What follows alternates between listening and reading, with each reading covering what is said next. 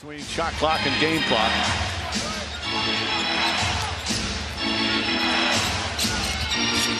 Crawford drives on Durant. Double clutch off the rim. Curry has time. Three seconds. Curry from half court.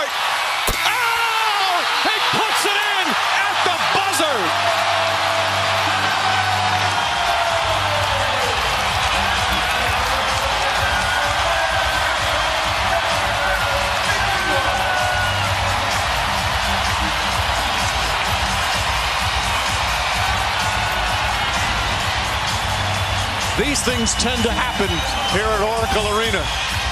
How many times we've seen this guy make shots like this?